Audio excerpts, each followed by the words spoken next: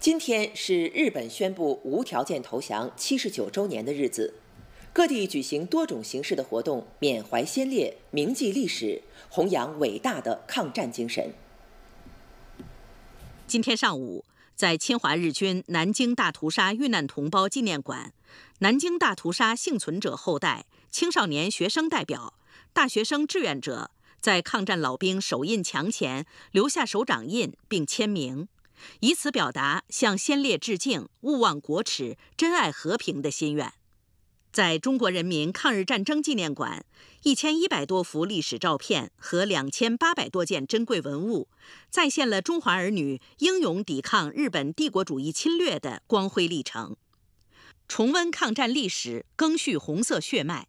在哈尔滨侵华日军第七三幺部队罪证陈列馆、通化东北抗联文化馆。长治八路军太行纪念馆，人们参观展陈，缅怀革命先烈和不幸遇难的同胞，厚植爱国情怀。在南昌新四军军部旧址陈列馆，来自社会各界的群众聆听先烈们英勇杀敌的抗战故事，汲取奋进力量。作为新时代青年，我们有义务，更有责任传承好、发扬好伟大的抗战精神。为实现中华民族伟大复兴的中国梦，贡献自己的青春力量。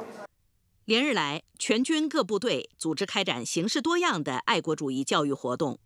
广大官兵通过重温入党誓词、参观历史展馆、主题演讲等方式，缅怀抗战先烈，激发报国之志。今天的和平来之不易，我们一定继承和发扬伟大抗战精神，以更加饱满的精神、更加昂扬的斗志，练兵备战。精武强能，坚决做到能打仗打胜仗。